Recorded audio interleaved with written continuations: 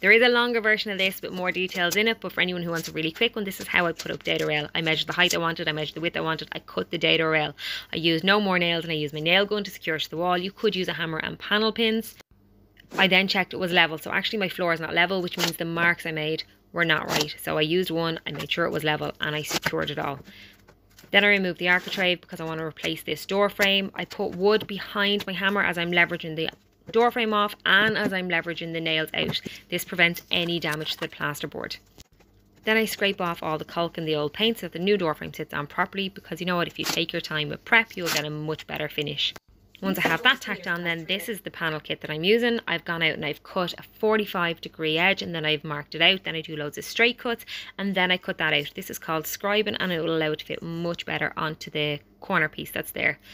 Always do your scribe down first, then measure and cut your straight edge and then just secure that in place.